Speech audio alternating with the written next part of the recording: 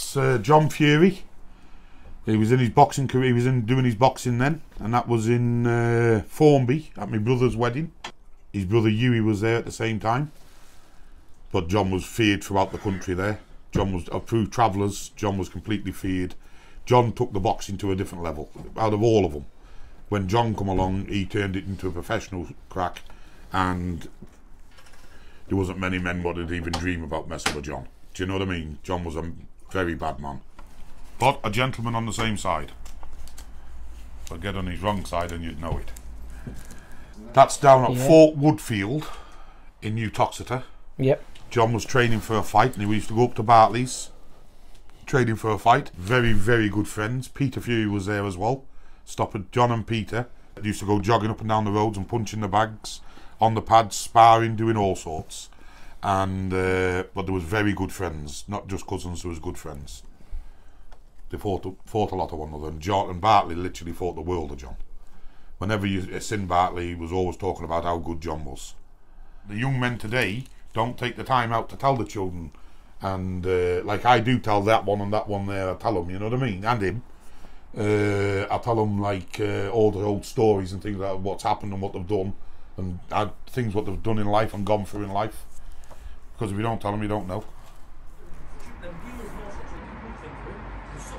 Listeners, you're tutored with it from no age, you know. Honestly, yeah, you're tutored with it from no age. You really are. There's your great grandfather, my great uncle. You're knack, That's Francis old Nacky. Yep. That was an old photo took at uh, Nantwich Yeah. on Starkey's farm. That's old Francis Gorman, Knack, they used to call him. Uh, Bartley Gorman, Red Bartley, because he had red hair. And that's old Michael Fury, my dad's first cousin. You see, you can talk about travelling people all day long, right? And you can talk about all different breeds of people, and it's not just our breeds of people what can fight. Every travelling man and gypsy man in this country, for whatever names they are, all them people, all them families, they all got men somewhere along the other who can have a go. There'll be one in that family, and they say, hey, you want to have a fight? Fetch so and so. All travelling men throughout this country, from one end of it to the other.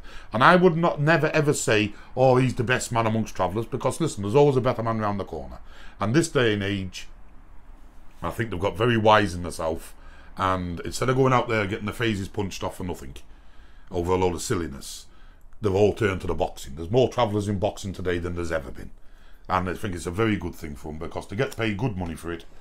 And it's all safe. There's doctors there. You can go back to the old travellers. There was only a min- minority of travellers, but there's names about today I've never even heard of. I would say, listen, you can go on a videotape and call one another out as much as you want. 90% of it, I don't think they even face one another. I think it's a load of publicity shit. And uh, they're going on messing about and talking about this and one thing and another, calling one another terrible names. And I would never do that. I would never use bad language.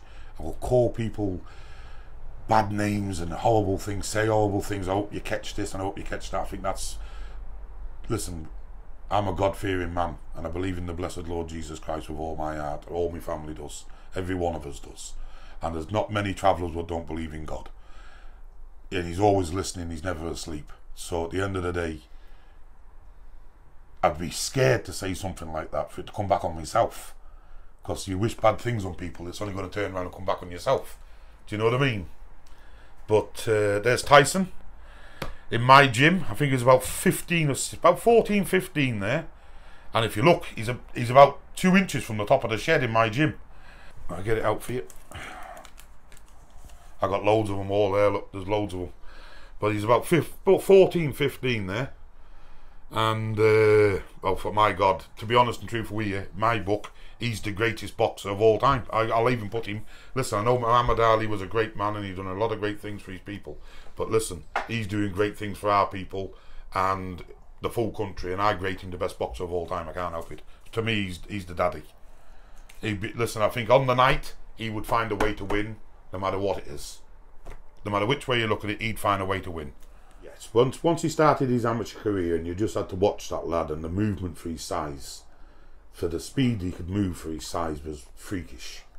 And uh, listen, I've always said it, and I always will say it. To get to where Tyson's got, Well, let's put it this way: if you get hit by Deontay Wilder on the point of the chin and get knocked spark out in the twelfth, it was eleventh or the twelfth, 12th round. in the twelfth round, and your referee's over the top of you counting, you open your two eyes, and you just had the hardest hitter in history knock you out. You've got you fought a full fight, and then to get up, how much heart has he got to just get up and want more? Because I tell you for why. He's touched in the head. And I'm being deadly serious. Because any man with any sense would say, I'm not going to get back up and get stuck into him. You've just been knocked out and you want to get to it again. And to win the round, because after he got up from that knockdown, he won the round.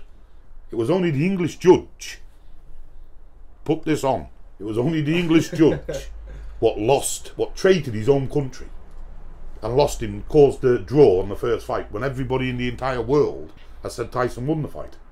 So, you know what I mean? It's a bit of a joke, really. But listen, I'll give you a quick rundown, right? I'll give you a quick rundown. British champion, English champion, Lonsdale belt, uh, European champion, Canadian champion, Irish champion, WBA, IBF, WBO, WBC. The list goes on, and I don't think there's another single heavyweight boxer in history that has won as many titles as Tyson. He has beat them all. He's got as amateurs. He won a load of stuff as amateurs. He's oh, well, there. Look, he's, he's a two-time heavyweight champion of the world. So it speaks for itself, doesn't it? But he was destined for it because I believed all these world champions at that very elite level, they've got to have something inside them. It's not just that. I don't think it's just that. I think it's something inside them. If you watch, what- who did he fight when he got cut over the eye? A very bad cut. Otto Wally. Otto Wallin, right? He had a cut over his eye that length, under the eye here and over the eye at the top. If you listen to him in that fight, he went and sat down on the stool. What did he say? Do you remember what he said? I live for this shit. Tyson's only happy when his happiest place is in that ring. And uh, he'll never get beat. He'll, reti- he'll retire the only British heavyweight in history to retire unbeaten.